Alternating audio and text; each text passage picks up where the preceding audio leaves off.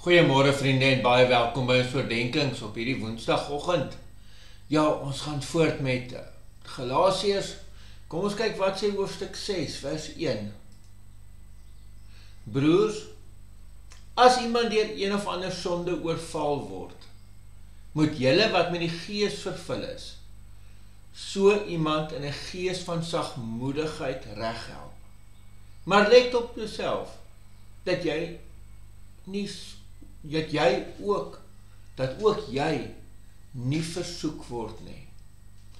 Jo, vriende, hoor wat gebeur hier.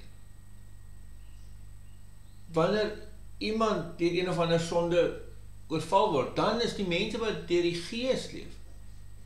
Daar's geen gesindheid van veroordeling nie. Daar's geen gesindheid van nee, ek is beter as daai ou. Kyk wat gebeur met hom nie. Dis hoekom Paulus sê wees versigtig dat jy ook jy nie versoek word nie, nê?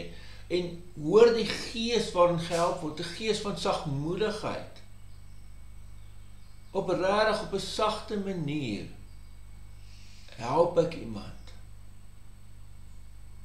Ja, dit is so anderste is wat ons in ons samelewing beleef.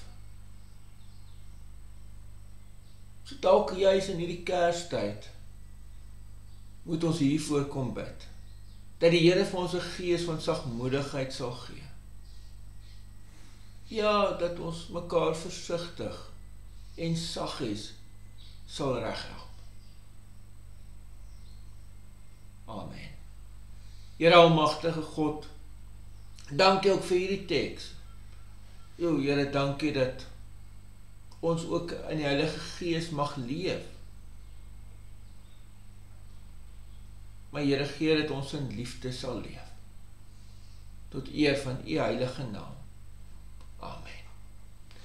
Geliefdes, mag elkeen van u regtig 'n baie mooi dag hê. Totsiens.